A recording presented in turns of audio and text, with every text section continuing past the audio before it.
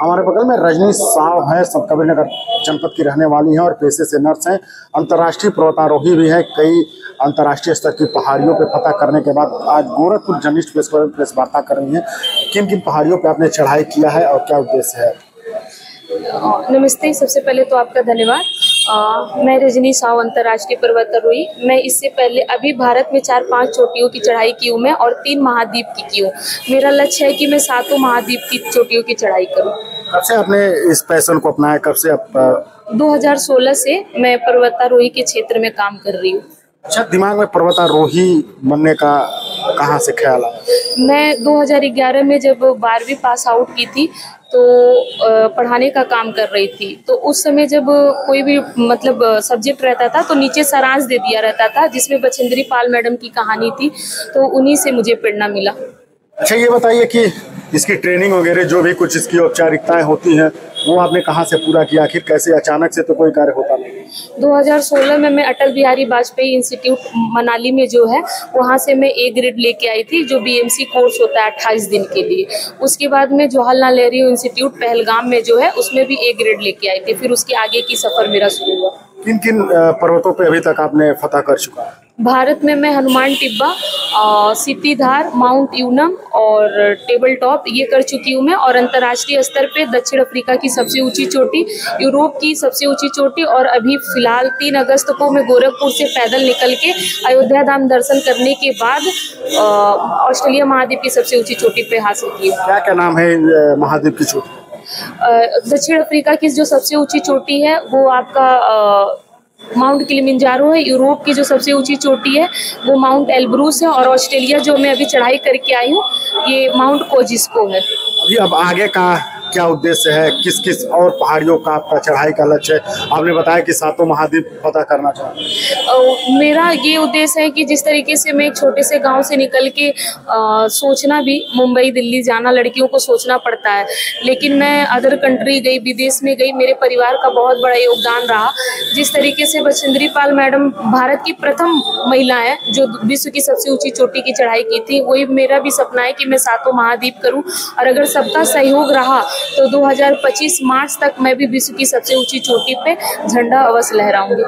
अभी इसके बाद अब किस चोटी के चढ़ाई करने का आपका टारगेट दुनिया की जो सबसे ऊँची चोटी है माउंटेन एवरेस्ट कब से इसकी शुरुआत करेंगे? ये 2025 में फरवरी से अगर सबका सहयोग रहा तब क्योंकि इसमें बहुत बड़ा अमाउंट लगता है। किस प्रकार का सहयोग आखिर अभी तक आपने जो फतह किया है परिवार से लिया चाहे कुछ सामाजिक लोगों ने दिया किस प्रकार का सहयोग अभी तक आपको प्राप्त हुआ? जैसे हमारे यहाँ के जहाँ की मैं जिस विधानसभा की रहने वाली हूँ माननीय विधायक गणेश चौहान जी जो मुझे अंतर्राष्ट्रीय बालिका दिवस पे पाँच लाख का चेक पुरस्कृत किए थे उससे भी मुझे सहयोग मिला था। अभी तक जितने भी डीएम सर आए हैं वो छोटा छोटा सहयोग करते रहे कुछ कंपनियाँ जैसे आईजीएल हो गया पार्ले जी हो गया ये भी मुझे सहयोग किए हैं। खादी विभाग वो भी सहयोग किए हैं। कुछ छोटी छोटी कंपनियाँ हैं वो भी किए हैं।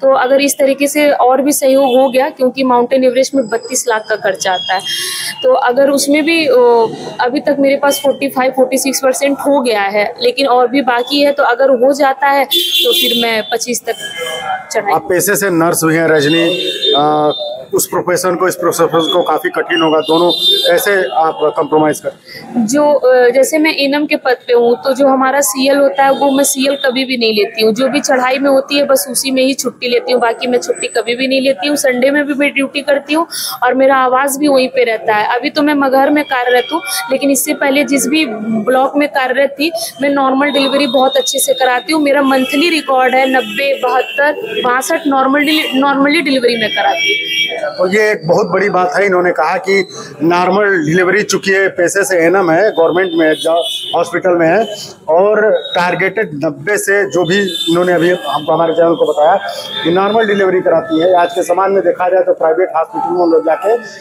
इस तरह की चीज़ों में लाखों लाखों रुपए खर्च करते हैं। अच्छा ये बताइए कि मम्मी पापा आपके क्या करते हैं? उनका किस प्रकार का सहयोग रहता है? भैया मेरे कोलकाता में अपना बिज़नेस चलता है वो करते हैं और पापा थोड़ा सा कोविड से बीमार है तो घर पे ही है। अब तो बिल्कुल ठीक है तो घर पे खेती बाड़ी चलती है हम लोगों की। तो आय का स्रोत आपका आपकी स्वयं की कमाई नहीं नहीं ऐसा नहीं है भैया मुझे कोई कहानी नहीं बनाना है भैया मेरे हैं दादाजी है पापा भी हैं सब लोग मिलके सपोर्ट करते हैं। सब लोग मिलकर हाँ सब लोग क्योंकि हम लोग पाँच भाई बहन है और सभी लोग अभी पढ़ ही रहे हैं मेडिकल डिपार्टमेंट से ही। दो लोगों की पढ़ाई पूरी हो गई एक छोटा वाला भाई अभी पढ़ रहा है बी एस सी। नर्सिंग तो ये रजनी साहू संत कबीर नगर जनपद की एनएम है, अंतर्राष्ट्रीय पर्वतारोही है, कई पर्वतों की चढ़ाई करने के बाद आज गोरखपुर, जर्नलिस्ट में प्रेस वार्ता कर रहे थे, इनका साफ़ कहना है कि अगर समाज और सामाजिक लोगों का हमें सहयोग मिला तो सबसे बड़ी जो चोटी है, उस पर पता करके देश, प्रदेश और अपने जवान का नाम रोशन करेंगे